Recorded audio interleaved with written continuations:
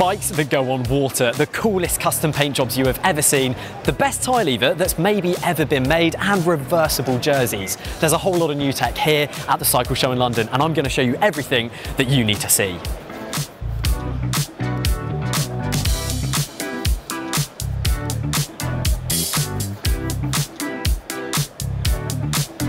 we have come over to Bosch because today at the Cycle Show, they are featuring their ABS system. So we're gonna jump on this bike and we're gonna give it a test and see how it performs. Sweet, all right, let's oh, do it. fun. Let's go. Whee! Ah! Oh my God, here we go.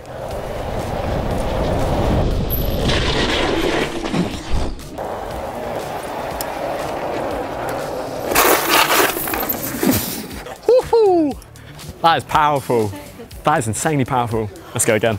Now, I will say that test was very impressive, and I think I was most impressed by just the sheer amount of power that was coming out of that front brake. And do remember, I was only using the front brake, I didn't touch the rear brake at all. So it was a very good demonstration of how it actually works. When I was on the gravel, I was only pulling on that front brake. I wasn't touching the rear at all, but it uses a very clever brain, which is down located on the fork. And what it does is that when you start braking and the ABS system is active, this takes over the, the power of the braking. Now there is a little reservoir in there which then controls how much power is being applied to that front brake. So now you might notice that these brake rotors do look a little bit funky and that's because they've got this black inner ring where essentially the sensor down in the brake caliper is monitoring the speed of that front rotor and you've got exactly the same thing on the rear. And what the brain is doing is that it's monitoring the speeds of both wheels individually and then it applies the braking force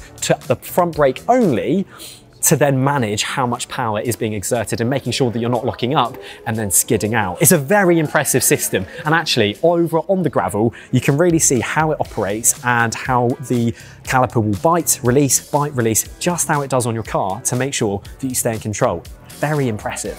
Now this technology isn't anything crazy brand new. It has been around for a while, but it's the first time that it's been seen in kind of this configuration and more importantly, this size on a mountain bike. And it's very interesting to think, obviously we're still fairly early into ABS systems on bikes and you've got to wonder how much further can it go? Could we ever see an ABS system on a road bike? That is something that could potentially be very interesting because of course Di2 was first seen on an e-bike seven years before it made its way over onto a road bike. So the tech that we see here could be the future for road bikes. Now, this is potentially the bike that doesn't need roads, and that's because this bike has been designed to go on water. This is called the Manta 5 SL3, and as you can see, it's made to ride the hydrofoils of the waves. So, what we've got down here up front is how it balances, and then you've got your power towards the back, and essentially it does work like an e-bike. So, you'll sit on top, you have to start in depths of at least two meters, and then from there, essentially you get pedaling just like an e-bike, you will then be propelled and then you sit on top of those waves and then you can ride them. Now there's a couple of different ways that you can actually use the bike. You can use it out on the open seas, meaning you could ride the waves on this bike. But the other cool thing that you can do is use it on lakes as well. So if you want something a little bit more calm, a little bit more tame, then you can take it up to the Lake District, for example, and then just cruise along on those waves. Now another very cool thing about this bike is that the battery will actually last for up to four and a half hours of riding, which is actually quite a long time. And I don't think that anyone would be riding longer than that on water. I can imagine it's actually quite tiring. Now these bikes are actually made by the company Manta 5 down in New Zealand. And this one here is the only one in the country. They cost between nine and 12,000 pounds here in the UK. So they're not cheap. However, if you own a yacht and you want this to be an addition to your yacht, I imagine that's not the biggest expenditure you're gonna have to worry about. I've just come over to Invani and they made something that I've never seen before, reversible jerseys. Now let me just grab one off the, uh, off the shelf. This one here. So as you can see, it's a normal jersey. It's got three pockets at the back, but as quickly as that, you've got another jersey. Unbelievable. So they've got a whole range and you've got summer jerseys, you've got heavier weighted jerseys, you've even got gilets. It's, um, it's something that I've never thought of, and it's really surprised me that it hasn't been done before. And they look really clean and clear, to be honest. You know, solid block colours. They're not very offensive to the eye. In fact, I'll say they look quite good. Um, but they've also got bibs. The caveat here, though, the bibs are not reversible, and that does make a lot of sense. Um, but you've got long sleeve jerseys, um, they've got arm warmers and socks and everything that you'd need. It's a really nice feeling product. The, the fabric feels premium, um, and it's everything's flat locked. So you've got flat lock seams, everywhere so it feels the same no matter which way round you're wearing it. And then I've been told that the when the jersey when you are wearing the jerseys the pockets don't irritate you at all. And the seams on the top here are still very soft. So in some ways it does make a lot of sense. And actually the prices on these are pretty reasonable. And when you consider the fact that you're essentially getting two jerseys out of one it makes a lot of sense. I'm a I believe we have reviewed these before on Cycling Weekly and we were a big fan. So I think I might need to pick up one for myself. So we've come here to the Hunt stand because they've got a pretty cool custom built Mason. And this bike here is actually interesting for a couple of different reasons. It's been fitted out with the Campagnolo Ekar group set, but more importantly, it has Hunt's classified wheel build. So you've got double shifting on this one by ring, which is very cool. Now up at the hood here, you can actually see where the button is to allow you to shift on that classified hub.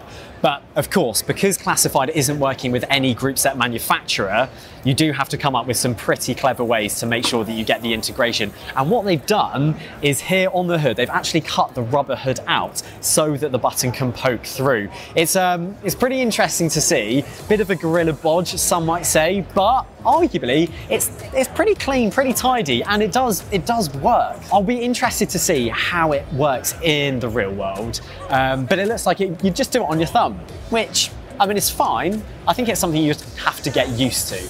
If you haven't used a classified system before though, this is an entirely wireless shifter that then talks to the through axle down here on the rear hub. And then that shifts between the two different gears that sit within that classified hub. So what that does mean is that essentially you'd have two by shifting, but still being able to have the benefits of a one by ring. I'm not too sure if you need that on a gravel bike. Usually you have a pretty good spread on the gears and that's usually enough to allow you to ride wherever you want to ride. But since you do still get the benefits of a one by system and you can still have two by shifting on the rear, that is quite nice. So I think only time will tell on this one. I'm keen to try this bike out um, and see what it's actually like to use in the real world.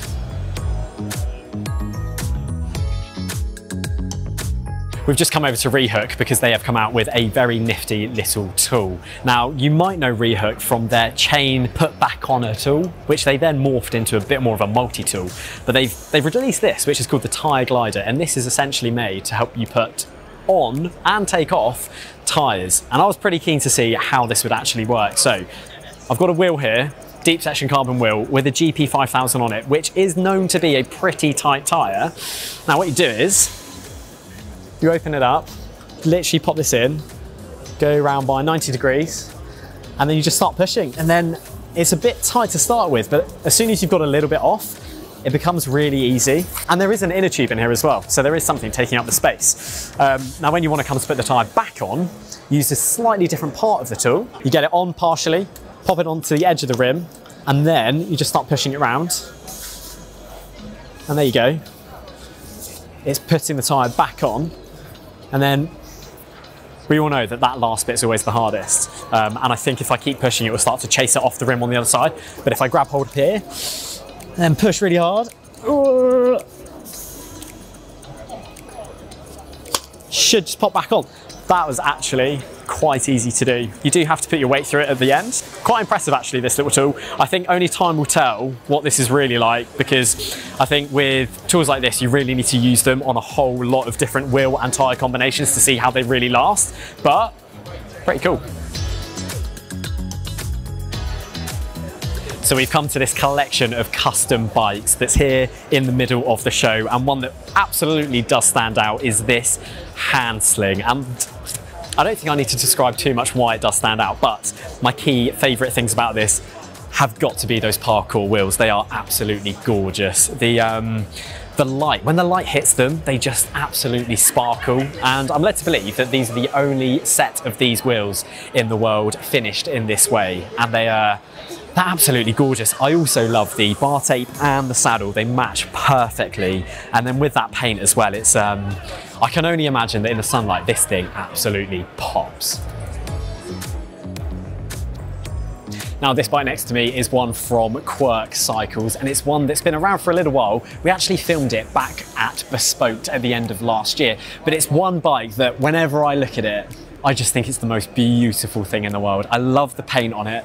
I love the joints here and the, uh, the lugs that have been used because you end up with this beautifully seamless finish. And it's made with Columbus steel tubing, but looking at it, it's just so incredibly modern that pays so much homage to how bikes used to be made. And it's, um, it's just a gorgeous, gorgeous thing. This is honestly probably one of my bucket list bikes because it is, it's just stunning.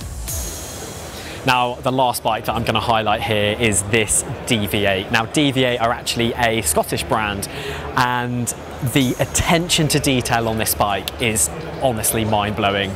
There's gold leaf, there's hand painted details of the leaves and the trees and the grass and then you've got these incredible fades in the sky and it's not just the frame but it's the fork as well and everything that's been done has just been done to perfection. It really is. This really is a work of art.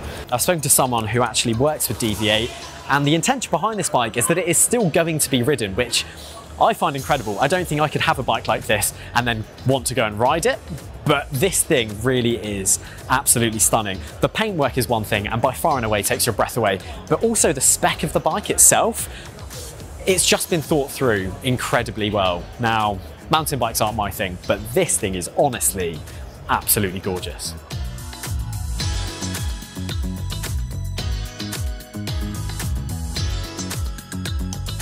So that's all for today here at the Cycle Show. Let me know down in the comments what you think of all the new tech I was able to see here today. And also, let me know what your thoughts are on ABS and if you think that it could ever make its way onto a road bike. If you enjoyed the video, then please do drop it a like, subscribe to the channel for more content, and I will see you again very soon.